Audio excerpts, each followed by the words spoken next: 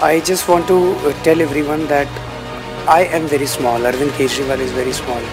And Aam Aadmi Party is not a party, it is an idea. It represents honest politics in this country.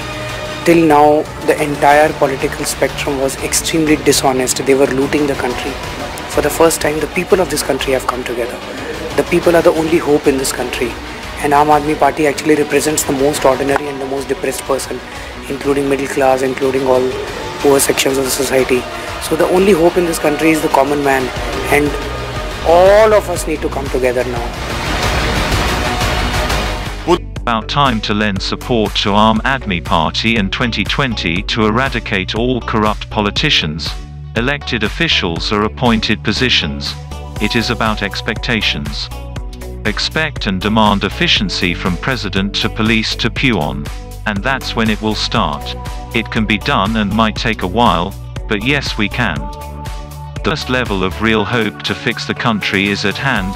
Grab it with all your efforts, enthusiasm and make it happen.